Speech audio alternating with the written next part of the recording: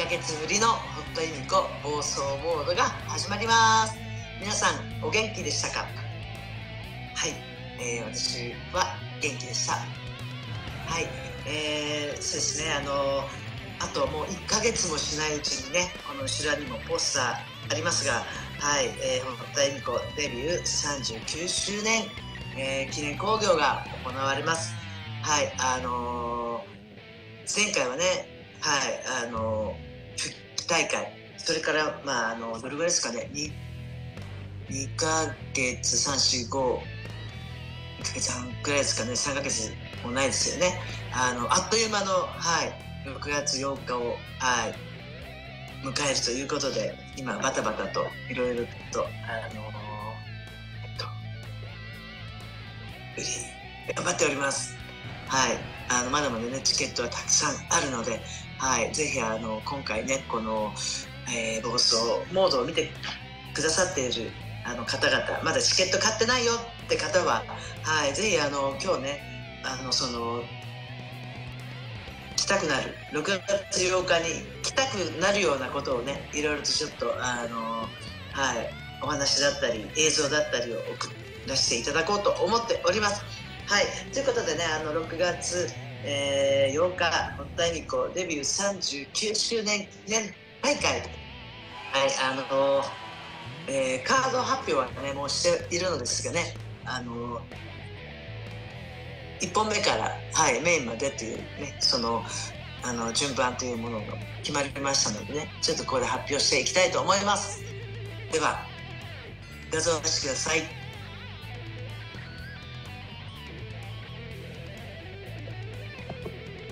はい、えー、第1試合、はい、笹村あやめ VS ほのか選手ですね。はい、えー、笹村あやめ選手はですね、あの本当にパワーあって、もともとはあの柔道をやってた選手で、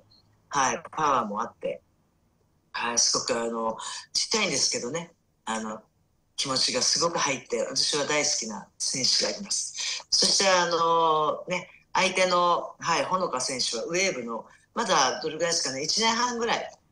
かな、2年もまだやってないのかなっていう、はい、キャリアで、あの、結構あのね、こう、評価というか、はい、あるので、今回ね、こういうカードを、ちょっとこう、笹村あゆあやめ、あやめ選手が、こう、ほのかの、ほのか選手のね、いいところをこう引っ張り出して、はい、あの、勉強していただければなと思っております。まあ私のね大会というのがねこういうふうにあの上の人と若手というちょっとこう格差のあるような、えー、カードを組む組んでそういうあの練習練習じゃないですけどねこう試合もまあ勉強ですよね練習ではなくて勉強の場を持ってもらいたいなというカードをあのよく組みます。はい、その中でねこう成長していってもらいたいなという、はい、プロレスというものをねこう学んでいってこう上に行ってもらいたいなと思うようなカードはをいつも考えております。はい、では第2試合目はい、えー、加藤園子選手、南亮選手 VS チーチー選手、ゾネス選手です。はい、えーこのね、あの、加藤水波というペアはね、この間、あの、このベルトも取りましたし、ね、あの、乗りに乗っているというね、この2人、えー、だいぶまあね、キャリアというか、もう10年以上ですよね。はい、加藤選手は、はい、あの、もう本当にベテランという選手になってきていると思います。はい、その2人対、えー、ですね、チーチーズロネス、はい、えー、エボリューションというね団体の、はい、今こう若手とねこういろいろと、はい、あの団体にね呼ばれて試合をこなしているという、はい、あのまだ多分この子たちも1年半ぐらいじゃないかなと2年未満だったと思います。はい、あのそのね選手がこの、はい、キャリアのある選手とどう戦っていくかというのが楽しみであります。はいあの余談ですがあのこの兄貴をねあの私の同期あの北斗晶があのなんだっけ、パーティーちゃんと言って楽しみにしている、まあ、キャラクターのね、強い子なので、はい。私もこの試合を楽しみにしております。えー、第3試合目。はい。えー、高橋七重、稲葉友香、VS、えー、サリー、稲葉あずさ、はい、えー、選手、えー、このカードはですね、私が見たかったカードでして、はい、あの前回ね、あの稲葉あずさ選手はね、えー、サリー選手とシングルマッチをして、はい、あの頑張っていたんではないかと、はい、私も後であの動画を見たのですが、結構ね、あの蹴りとかもね、いろいろとこうコンビネーションを持っていて、はい、あのいい選手になるんじゃないかなと思っております。はい、まだこの子もまだ1年半とか、まだから2年未満ですね。はい、先ほどの選手、皆さん、あのみんな、あのするぐらいのキャリアの選手がこう先輩にぶつかっていくというね、はいまあ、これはね、ちょっとこう、あの分けたんですけどね、稲葉友果、稲葉あずさというね、この姉妹をちょっと分けてみようと思って、はい、分けて、あの組んでみました。まあ本当にあのね、高橋七重パッションと、はい、サリーイズムというね、この本当にこう、心でね、プロレスをするというね、はい、あの代表的な選手なので、まあこれも本当にあの、ね、稲葉友果、あずさ選手がね、あの本当に盗み取って心で感じてプロレスを、はい、あの学んでほしいなと。食いついていってもらいたいなと思っております。カードは私があの含めたというのもこれもねあの本当に私も、はい、組みたかったカードなので、はい、あの楽しみにしていてください。えー、ではその次第4試合目。はい、出ました。はい、あの前回ね、えー、3月の私の、はい、復帰大会でこのね、あのシングルマッチが決まったのですが、はい、あのね、シャアがね、本当に心、気持ちを入れ替えて、アジャコングにこうどこまで立ち向かっていけるかというのがね、この見どころであって、はい、あの、そうですね、まあ、シャアはね、今ね、必死で多分トレーニングを、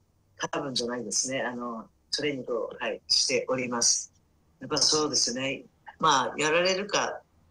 ってなってしまうと、ね、人間っていうのは、本当に、あの、切羽詰まったというか、ね、あの、やるしかないというね、はい、あの、そのやるしかないっていうところまで追い詰められたというね、はい、シャアでいます。はい、そのシャアがね、このアジャコンどう立ち向かっていくか、はい、いけるかっていうのがね、こう見どころになるところで、はい、あの、この6月8日の大会で、本当にね、あの、どちらに転ぶかというね、いいか悪いかというね、評価をもらえるかどうかっていうのに、はい、あの、注目がこう集まってくるんではないかと思っております。はい。まあこの後ねまたちょっとねあのいろいろとシャアのあのこれからのはいあの今頑張ってるっていう頑張らなくてはいけないというねまあいろいろちょっとあの映像もあるのでそれは後ほどはいあの見ていきたいと思っております。はい。そしてメインイベントです。はい。えー、堀田恵美子、伊藤薫、安野沙織、VS、尾崎真由美、新広田さくら、えー、中島ありさというカードをメインイベントに持ってきました。このカードはですね、はい、えー、そうですね、いろいろとまあ、なぜこういうカードになったかというね、まあ、はい、まあ思い入れがある選手というか、うん、あの、まあ、ね、あの、もそうですし、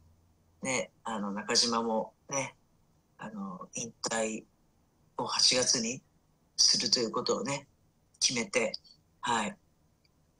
あの、当たりたいなと、はい、まあ、中島はね本当にあの私が A to Z という団体をやってる時にあの入門してきて、はい、あの一からねこう教えた選手であって、まあ、育ての、はい、親でもあるのあるということでね、はい、あの最後ね、うん、当たってみたいなっていうのが自分の中でもあったので、はい、メインイベントに、はい、入りました。そしてね、あの、まあ、尾崎真由美選手はですね、えー、昨年の、まあ、6月の38周年記念大会の時に一緒にあの組んで、はい、あのね、同世代ということで、私のがまあ一つ上なんですが、はい、あのね、尾崎は本当に今でもね、あの、ね、中心としてね、オズであの頑張っている活躍してる選手なので、まあ、私もすごく見習うところもたくさんあり、はい、次はねちょっとこう対戦してみたいなと、はい、思って相手のチームに入れました。はい、でまあ伊藤薫というのはね、まあ、あの本当にね容赦しない。誰でも容赦しないというこの体でかい体を作って迫力あるプロレスをやるっていうのもね本当にあのプロレスの醍醐味かなというはい。ね昔はねめちゃくちゃバチバチ戦ってあの本当に仲悪かったんですがまあねあのもうお互い大人なので、ね、いろいろまあ女子プロレスの、まあ、方向性というものはねあの伊藤薫も私もあの全日本女子プロレスというねところで学んでプロレスというものはっていうねあの本当に基礎というものをしっかりしていかなくてはいけないというね本当にそういう部分では本当考え方が同じなのではい。あのねこういうふうに組むことってあんまり伊藤とはないのですが、はい、今回ちょっとねこうはいあの組んでね見てどんな感じなのかっていうそこちら目線からね、はい、敵ではなく味方としていろいろと、はい、あの全体を見ていきたいなと思っております。はい、でなぜあのここにあね広田真広田さくらが入っているのかと、はい、ちょっとねまあはい。あのまあいろいろと考えてることがあるのでまあそれはあの見てからのお楽しみという会場に来てからのお楽しみということで、はい、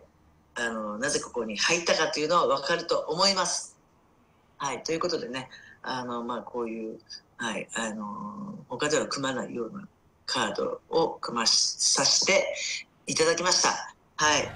えー、試合順がねまだ未定だったのであのこの順番に、はい、決定をさせていただきます。はい。ということで、あの、チケットはね、あの、女子プロレスラー、堀田恵美子オフィシャルショップより購入いただけます。はい。あの、もう本当に、チケットまだまだたくさんあるので、はい。ぜひ、あの、このカードを見てみたいなと思う。ね。こう、ちょっとこう、なんかこれ、ね、楽しそうだなとか、激しそうだなとか、思うカードを本当に、あの、取り揃えています。なのであのそう感じた方はぜひ、まあ、感じなくても見てみようかなと思う方ぜひあのチケット購入よろしくお願いいたします。ということでねはいえー、っとまあねあの私のまあ39周年記念興行ということでね、まあ、私はメインイベントになったのですが、はい、あのまあねいろいろと、うん、1試合から、はい、メインイベントまで5試合目まで、はい、あの本当にそのねあのベストバウトというねその大会その大会の中の1試合っていうのは本当にあのねどれもねそれぐらいのあの気持ちの、はい、熱い試合をね見せれると思います。はい、なのでね、はい、あの全試合、ね、イベントと思って組んでいるので、はい、ぜひ皆さんはい、あの応援しに来てください。そしてあのね、先も先ほども言いましたが、えー、アジャコング VS シャ、はい、セミファイナルに、はいあのえー、対戦する、はい、カードなんですが本当にね、まあ、ここがちょっと重要な、はい、ですね3月に復帰戦の時に、はいあのシャアがやっぱりこうね全然できなくて立ち向かえることも向かうことも本当にあのできなかったというね本当にシャア自身も、うん、本当にこう私は何を考えてリングに上がってきたのか。はい。ね、あの、こんなことでリングに上がるね、あの、うん、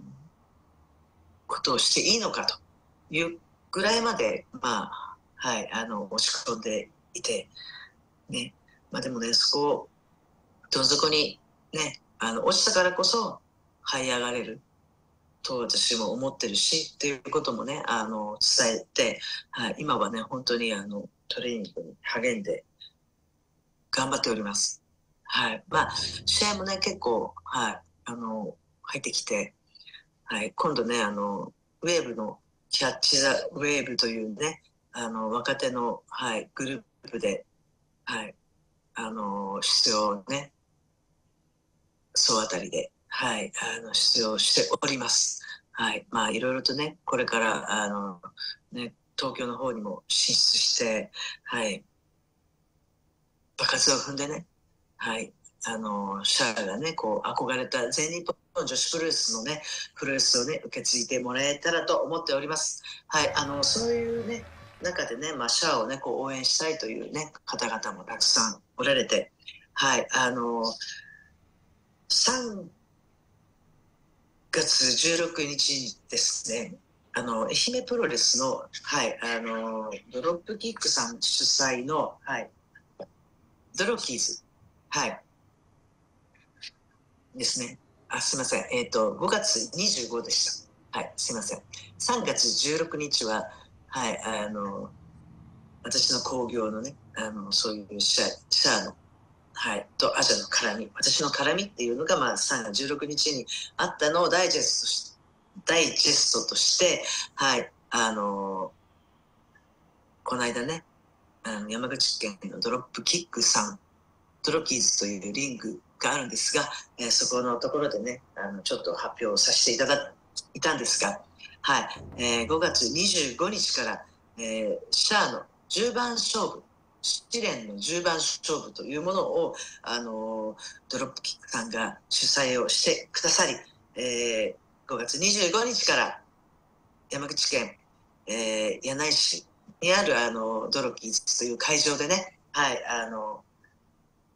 始まります。そしてですね、あの一発目はですね、はい、えー、橋本千尋選手というね、この本当に一発目から何をするんじゃいっていうね、はい、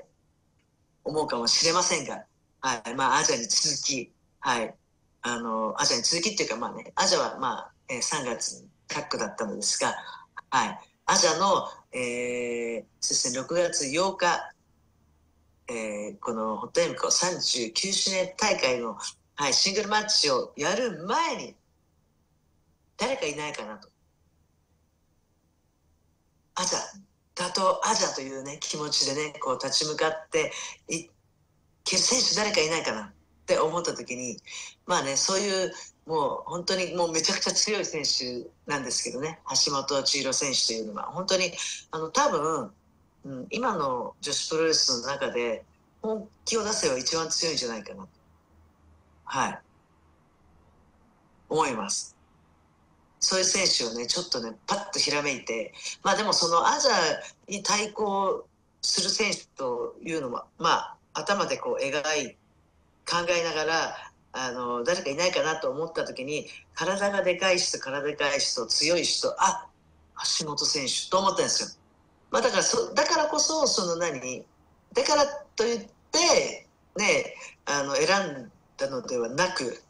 まあね、その10番勝負の一発目というね、この、はい、一番こう目玉になるカードは何かなと思った時に、あ、ちょうどいいかなっていう、はい、あの、この選手にちょっとお願いしたいなという、はい、気持ちで、あのお声をかけさせてもらったところぜひということではい。本当にありがたいなと思っております。本当にねなんかまあシャアはねすごくなんか恵まれてるなと。はい。うん。ね。アジャとシングルマッチ。そしてねあの橋本千尋選手とその前にシングルマッチっていうね、えー、シングルマッチをねこうすごいね選手とできるっていうのはねなかなかまあないことだと思うのではい。あのねまあでも一番はですねシャアがその選手たちとあの戦うことにね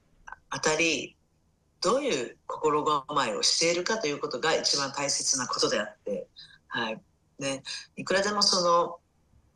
の、うん、お願いしてやってくださいっていうことは言えるんですがでもそこを自分がどういう気持ちで向かっていくかっていうことが一番大切だと思います。はい。っ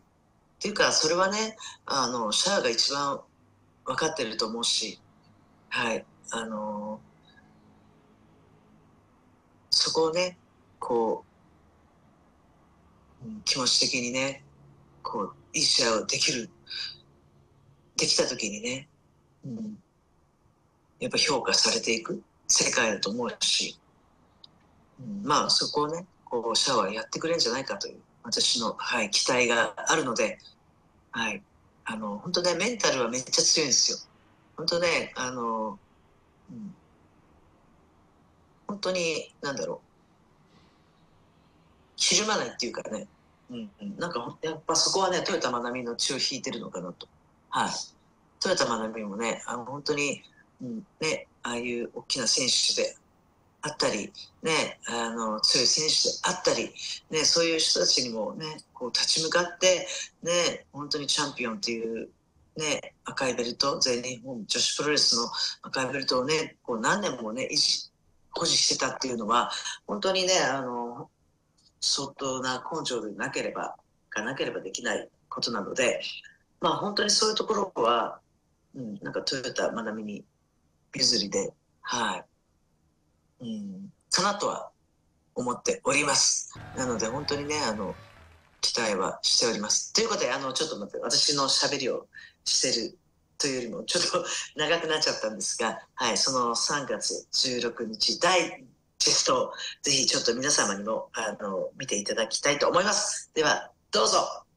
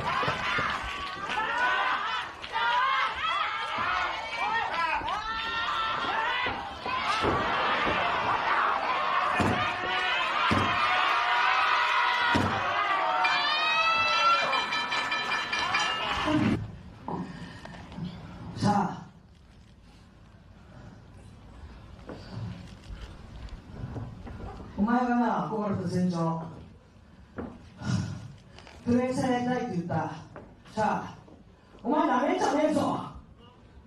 おいお前はトヨタマナミの年間も知らないけどお前とトヨタマナミは違うんだ。分かったか？お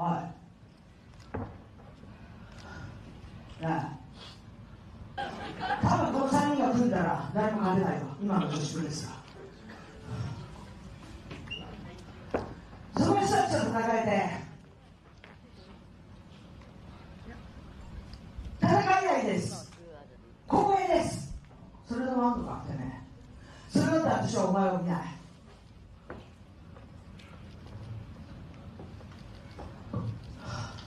マイクなんか変だよバカ野郎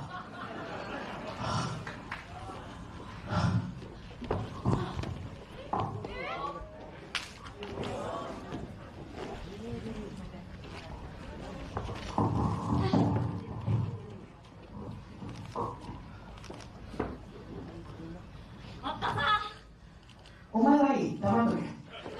お前抑えて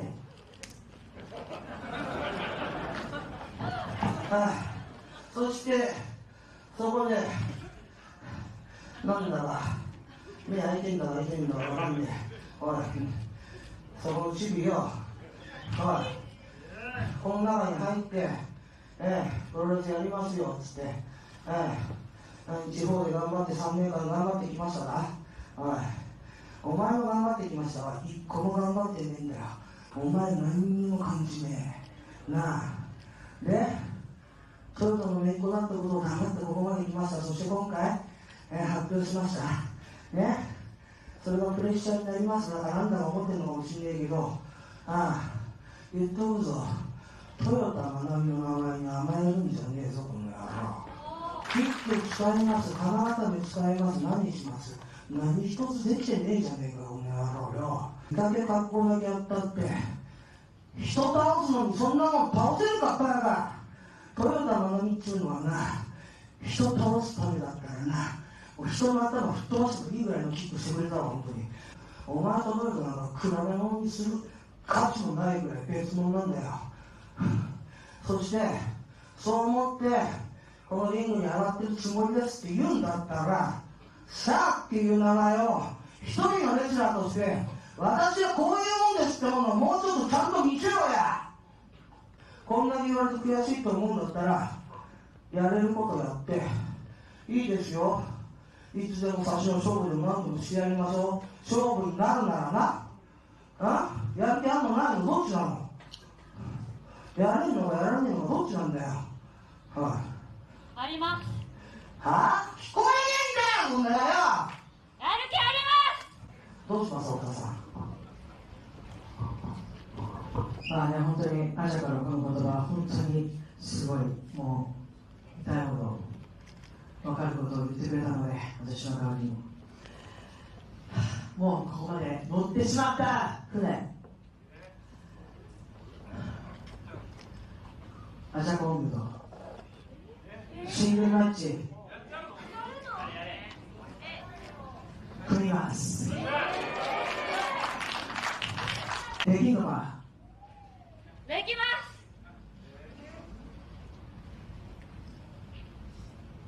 ここで決めたらもうやるしかないんだから。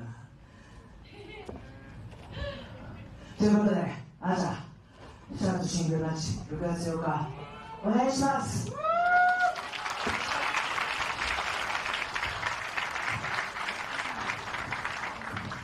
わかりましたじゃあ6月8日にまあ3ヶ月あれば人間変わるになると変われるはずなんですけどそれができるかどうかはまあ小田さんよろしくお願いしますねただ変わってないようだったらお前今日ボロゾッキになったと思ってんからこんなもんじゃねえからな周りに助けてくれる人誰もいねえってことは俺はとことん追い込むとことんボロゾッキにボロクズにしたからな二度とプロレスしたくねえっていうぐらい追い込んでやるからなその覚悟持って上がってこい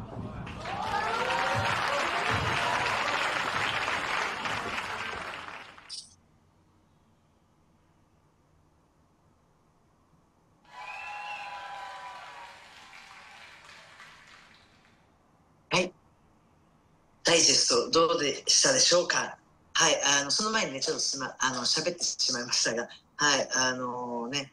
あのこのようにね、はい、あのシャアがね、やる気ありますというね、この言葉をね、はい、あの信用したいなと、はい、思っております。ね、本当にね、アジャがね、あんな真剣にね、あのシャアにね、はい、あの言葉をくれて、本当にね、もうありがたいですよね。はい。ということをね、シャアにね、この動画をね、また今日送って、あのテンション高めてもらいたいなと思っております。はい。ということでね、あのまあ、その前に5月25日、ね、あの山口県柳井市、えードロビーズ柳井リングにて、はい、あのシャアの10番勝負の1戦目は、え橋本千尋選手です。はい、あの本当にね、シャアがね、あのこ気持ちを込めて、はい、あの本当に自分の持ってるものをすべて橋本選手に、はい、ぶつけていってもらいたいなと思います。はい、この試合をね、あのしたことで、またあのね、6月8日に向けてあの自信がついてくれるんじゃないかと、はい、それを期待しております。皆さん、あのお近くの方はぜひ、えー5月25日、えー、柳井リングに足を運んでください。よろしくお願いします。ということでね、はい、あの、まあ、いろいろとね、こう、あの流れがね、3月から、ね、大会からのこの今の、はい、あの3月16日からのね、流れがあるので、まあね、3月16日にね、あの見に来ていただいた皆様には、はい、あの続きが、はい、見れると思います。まあ、その中でね、あのシャアがどれだけ成長しているかということも見れると思うので、ぜひあの皆様、えー6月8日、はい、えーっと、土曜日、18時開始です。新宿フェス。皆様、ぜひよろしくお願いいたします。そしてですね、あの、この大会でね、あの、オープニングで、はい、歌ってもらう、はい、あの、アイドルグループ、あの、インスパイアっていうね、アイドルグループのね、皆さんに、あの、こう、こう、スタートからね、ボーンと花を添えてもらいたいなと思っております。はい、えーそのグループの曲から、えー今日の一曲、はい、ダンス for you life です。どうぞ。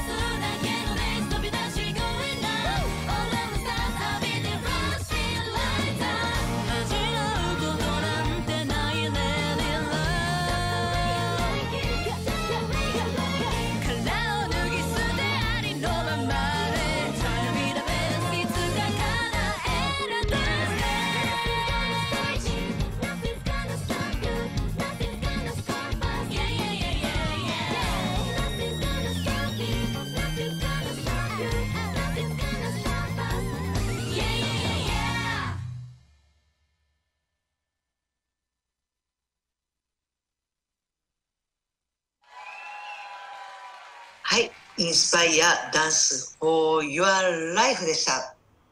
はい、えーえーっと7月、えー2日にファーストシングルを発売するそうです。はい、そしてあのねポスターにはね4人しか載っていなかったのですが、え最近2人加入して6人グループになったそうです。はい、あのオープニングでねこう花を添えてボンとねこう言ってもらいたいなと思っております。あのリングでねこう歌うのはね初めてですごく緊張していると言っていました。はい、そちらも楽しみください。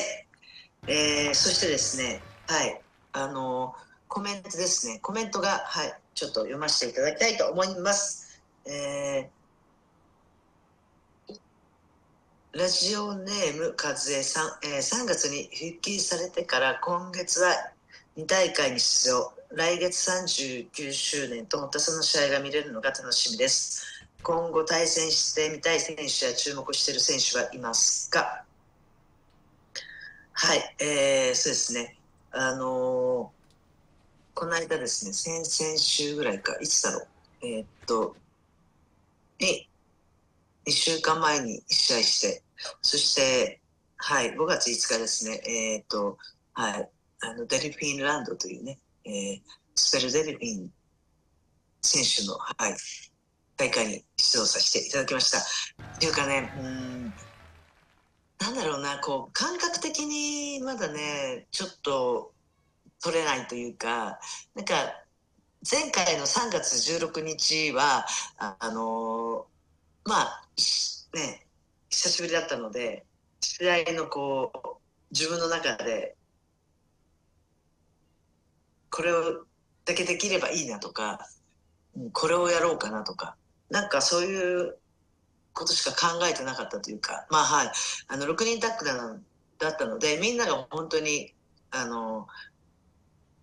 カバーしてくれて、あの、本田さんはもうね、無理しないで、ね、あの、私たちが全部フォローしますって言ってくれくれてね、本当なんかこう、はい、あの、私はただ、ただ出て、自分の、はい、やることをバンバンとやって終わるというね。はい。でもね、この間は、そうはいかないというかね、もう復帰をしたということでね、はい、あの普通にやっぱり選手たちも、ね、対戦した選手たちも、普通にやっぱりこう戦ってくるので、まあ、そこの中で、その、うん、対応するのがね、ちょっとこう、感覚的に、うん、わからなかったというか、まあでもそれで、うん、できなかったなっていうのはすごくあるんですが、まあでも、なんか、それ以上を自分の中で考えてはいなかったのに、でもやらなくてはいけない自分がいたっていうことが、うん、なんかそれって進歩してるのかなっていう。はい。なので、うん、まあそういうふうにね、こう、いいように、こう、自分の中でこう、考えて、解釈、はい、してます。で、えー来週ですね、来週5月の23日はですね、えっ、と、木村花選手の、はい、あの、大会ですね、メモリアルマッチというね、はい、大会が後楽園ホールで、はい、あります。あの、そちらの方でね、こう、バトルロイヤルに、はい、出場させていただきます。はい、あの、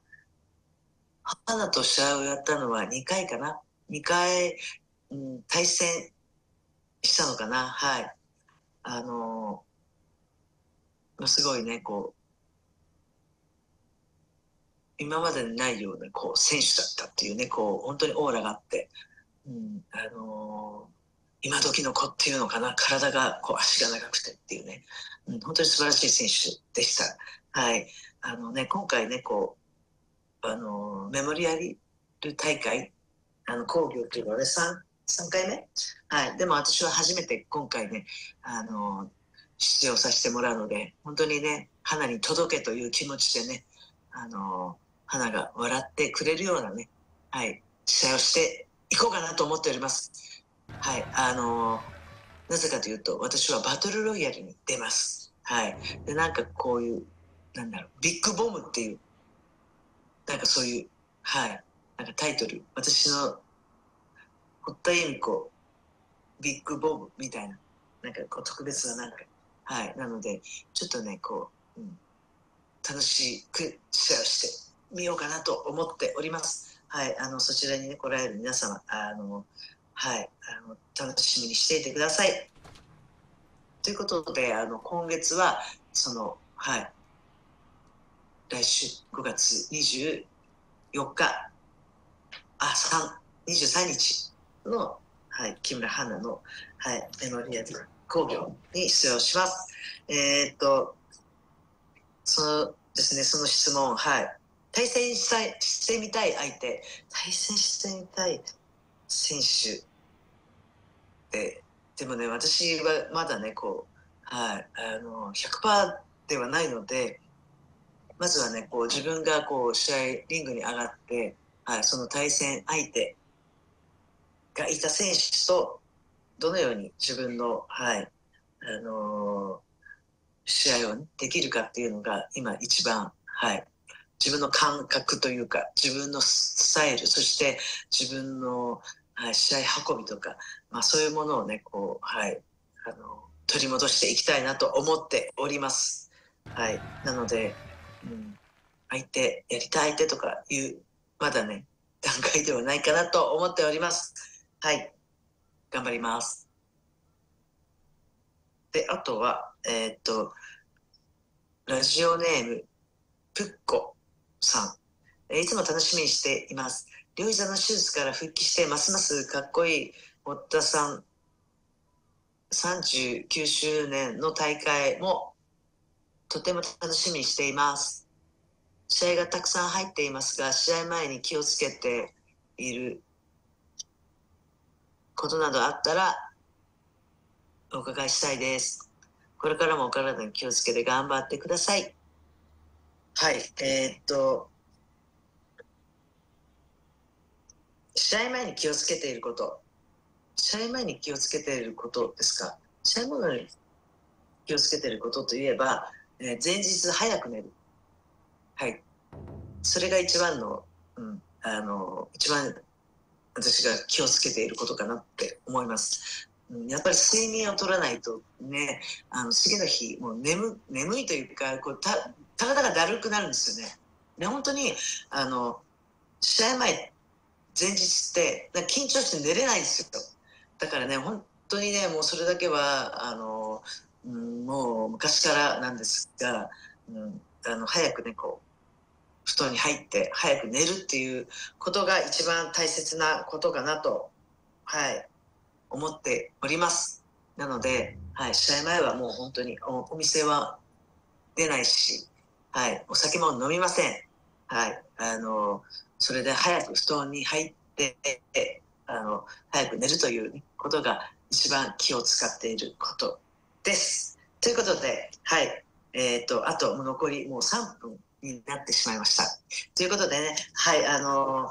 もうね、このラジオ、次にね、次のラジオはもうこの大会が終わっております。はい。なのでね、この大会に向けて、今は、あの、本当にトレーニング、そして、ね、あの、いろいろと、こう、チケット、はい、を、こうね、皆さんにこう、告知をすることが、今、一番やらなくてはいけないことで頑張っております。はい。あの、本当にね、あの、一枚でも多く、一人でも多く、あの、本当にね、こう、会場を埋め尽くしたいと思っております。えーチケットは、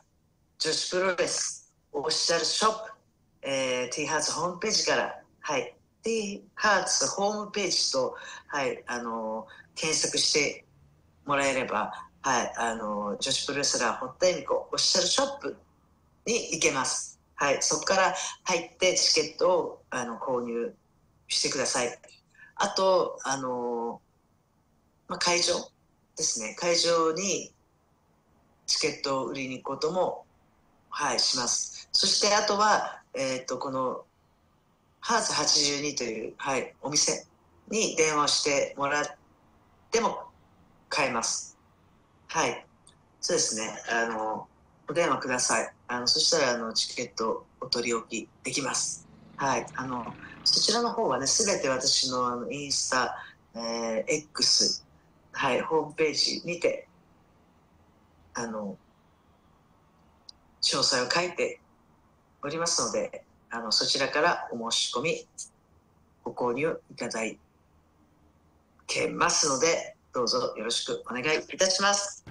ということでね、本当にあの、いろいろとこう、なんか何喋ろうかなと思うことがいつもいつもあって、だけどなんかいつの間にかこう50分というものがね、こう終わっていってるという、はい。でもう、そろそろ終わりになります。皆さんね、えーこれからまますます暑くはなってくるので、はい、体に気をつけて、はい、お過ごしください。では、皆さん、えー6月8日、えー土曜日、えー16、18時より、はい、えー新宿フェイスにて、夫恵美子39周年記念大会、皆さん、待ってます。お待ちしております。よろしくお願いいたします。